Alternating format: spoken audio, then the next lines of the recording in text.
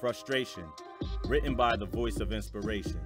Audio also provided by the voice of inspiration.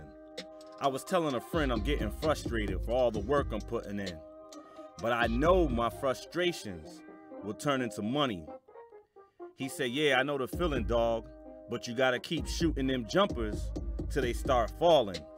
Then it's going to be bucket after bucket, just like NBA jams.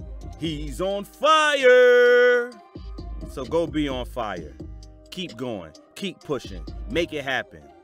Thank you for listening to the voice of inspiration.